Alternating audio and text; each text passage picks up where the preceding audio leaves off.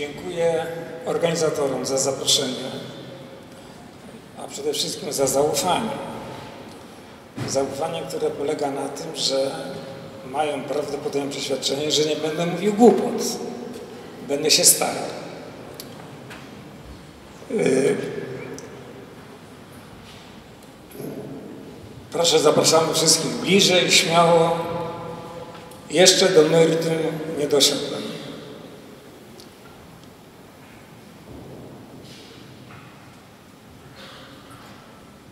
To miał być wykład. Taki, tak mnie zaprogramowano. Taki akademicki, który miał usystematyzować pojęcia, co to jest ta ewangelizacja, o co chodzi z tym moim nowym paradygmatem.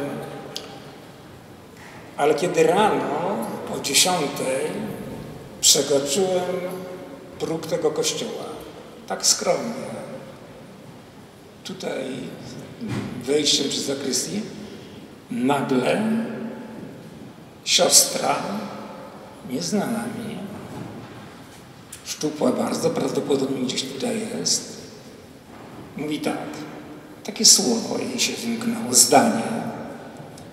Y, przecież my tak naprawdę, jako ewangelizatorki, nic nie robiłyśmy, tylko byłyśmy. I nagle sala, czyli wy, zareagowała oklaskami. Pomyślałem, no mamy motto swojego wykładu. Wiem, jak zacząć, nie uciekając w metafizykę, filozofię, no bo to w zasadzie jest istota rzeczy, o której chcę mówić. Co to w ogóle znaczy paradygmat ewangelizacyjny? O czym ja w ogóle y, pisałem, mówiłem, kiedy y, popisując swoją wątpliwą wiedzą, mówiłem, że mówię o nowym paradygmacie ewangelizacyjnym. Cóż to jest w ogóle ten paradygmat?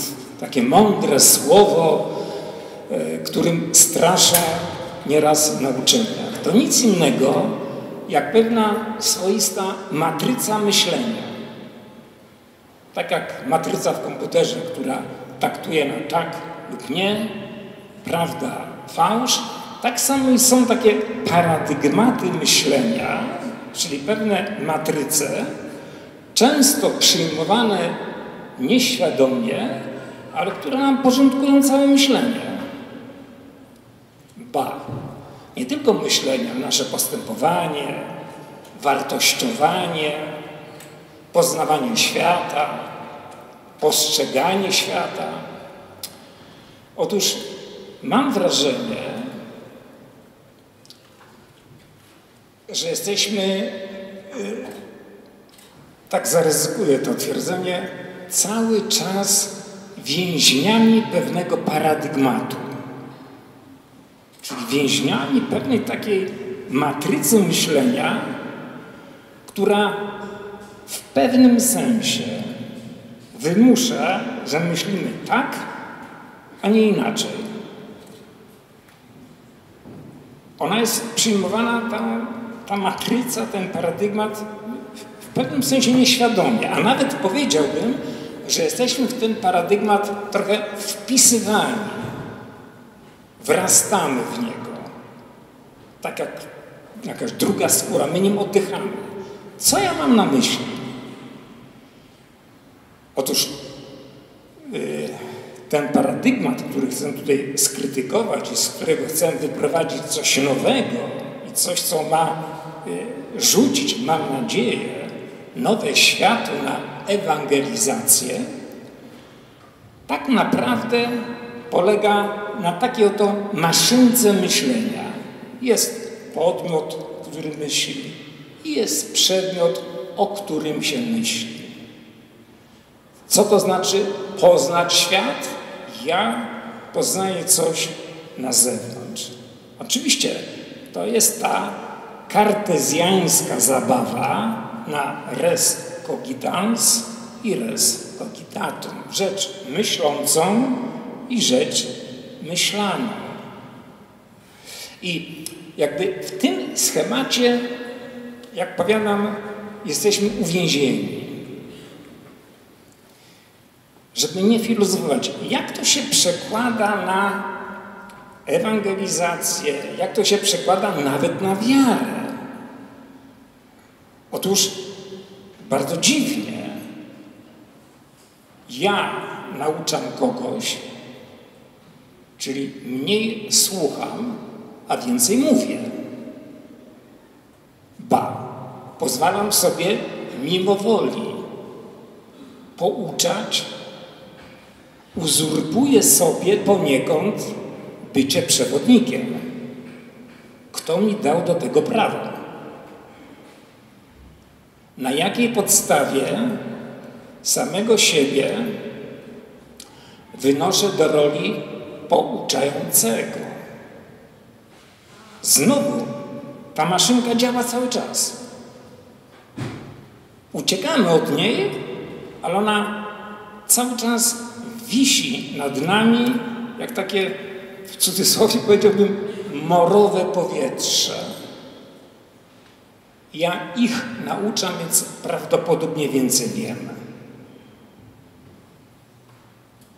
To ja wnoszę jakąś nową świadomość do nich, bo oni jej nie mają rzekomo. Zobaczcie, jak to wszystko więzi nas. Tak naprawdę role są już rozdane. Maski przywdziane. Aktorzy weszli w swoje role i niewolniczo ją odgrywają. Otóż to jest właśnie ten stary paradygmat. To takie powiedziałbym założycielski mit współczesnego myślenia. Coś, co w swoich książkach nazywam urządleniem Kartezjusza.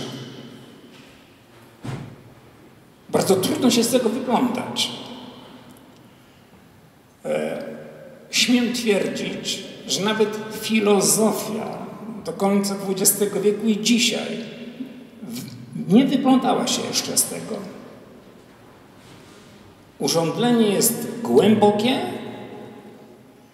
i, że tak się wyrażę, wieloaspektowe.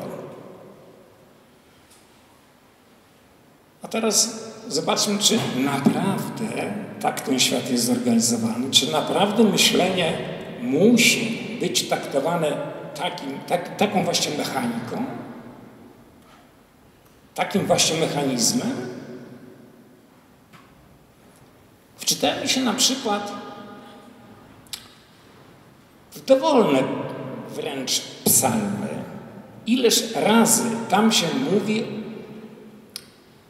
na przykład o odsłanianiu jakiejś prawdy, nie tworzeniu prawdy, nie zakładania jakiejś prawdy, ale o odkrywaniu. Tak jakby można było powiedzieć, ona jest, tylko że jest zakryta. To jest świat, który jest tak naprawdę wolny od tego urządlenia. To tylko ludziom się wydaje, że coś wytworzy nowego, że stworzy nową prawdę, nową filozofię, ale tak w gruncie rzeczy wszystko po pewnym czasie wraca na swoje tory. Jest tak, jak jest. Bo jest ten, który jest. Tak kazał powiedzieć o sobie Mojżeszowi. I nic więcej.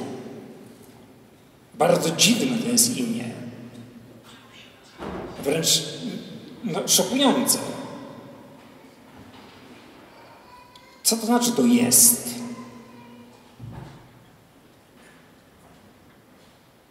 Nie jest Kowalski, nie jest Nowak, nie jest Krysia, nie jest ten, tam jest. Otóż Mało tego, to jest, e, ma charakter osobowy, działa. wchodzi w relacje.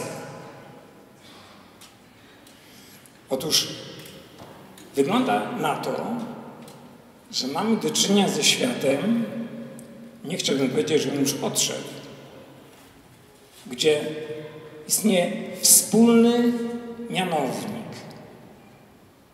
który łączy wszystko i wszystkich w istnieniu,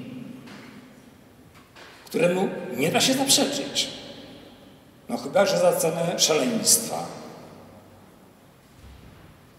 To na bazie tej prawdy każe oddzielać nawet grzech od grzesznika. Bo grzesznik też jest, jak ja jestem. Obaj jako beneficjenci daru całkowicie niezasłużonego. Tak sobie spada. Jestem. Mało tego, tego jest w żaden sposób, no właśnie na sposób filozoficzny, no nie da się zdefiniować. Bo zazwyczaj jest tak, że definicja tak wygląda. Jan jest mały lub Krysia jest wielka, czyli jestem, jak to filozofowie mówią, definiens i definientem, czyli y, definiowana część i definiująca. I, I, jest tak, że ta część definiująca musi mieć no, szerszy zakres niż zdefiniowana, inaczej nie byłaby definicją. Ale jak zdefiniować jest?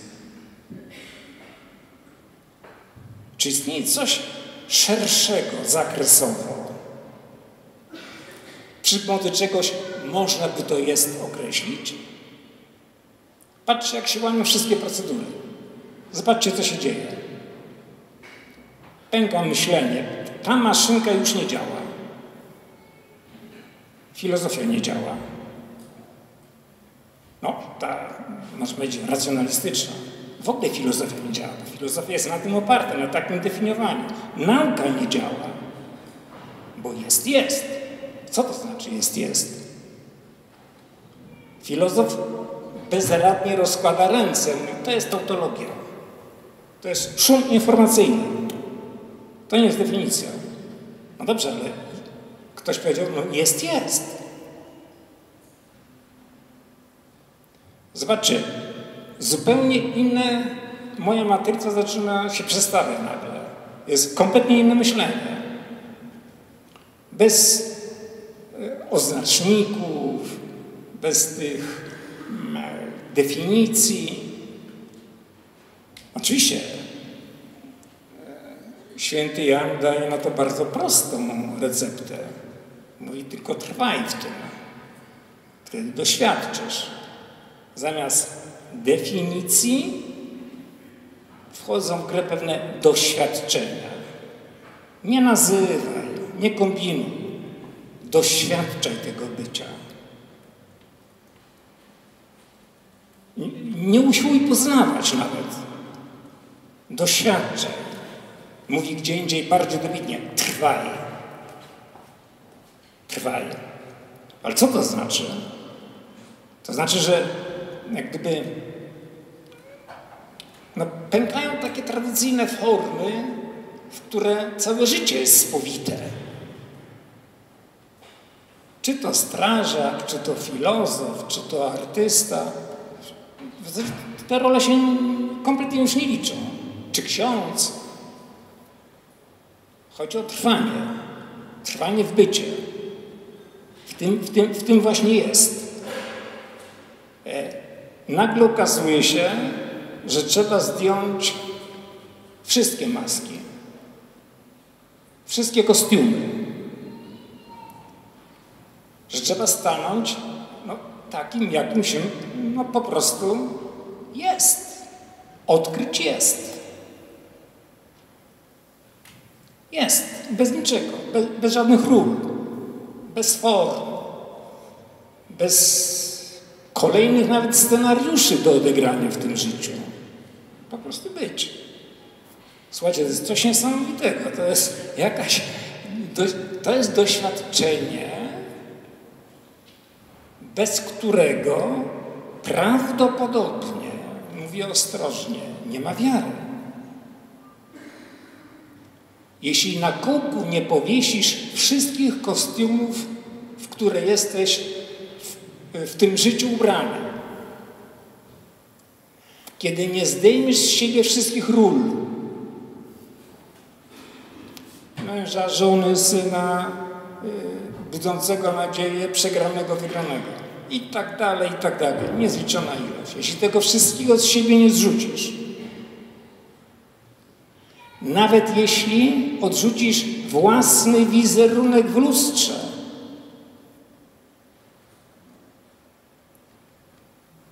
to prawdopodobnie nie wejdziesz w doświadczenie no, jakieś no najbardziej fundamentalne tego, że jestem.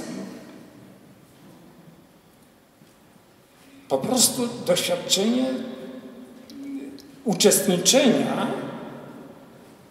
w jakimś, no ludzie wiary tak powiedzieli, cudzie bycia. Zupełnie przekraczającego miary wszelkich maszynek, tych matryc myślowych. To jest po prostu doświadczenie. No dobrze, ale no tak na spokojnie, jakie doświadczenie? O co tutaj chodzi w ogóle? Zobaczcie, jak zostają rozbite nagle te wszystkie paradygmaty myślenia. Nie ma już poznającego i poznawanego. Wymieniają się rolami. Nie ma uczestnika i obserwatora. Wszyscy są uczestnikami.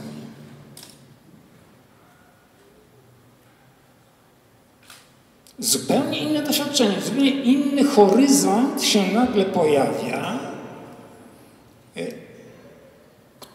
gdzie bardzo trudno jest się poruszać nie tylko słownie, nie tylko umysłowo, ale również takimi kategoriami nawet metafizycznymi.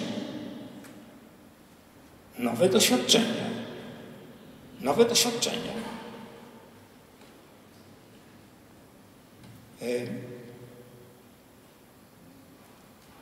W takim świecie żyli ludzie, zwłaszcza Starego Testamentu.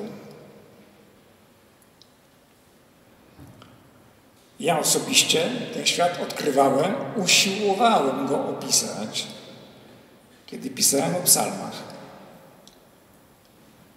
Tego świata nie ma. Po prostu nie ma, został rozbity. Bo zostaliśmy więźniami innego paradygmatu. Co nie znaczy, że nie warto o tym świecie mówić. Bardzo bym chciał, żeby on nam służył niemalże jak ów przysłowiowy metr z Sewr pod Paryżem. Jako ten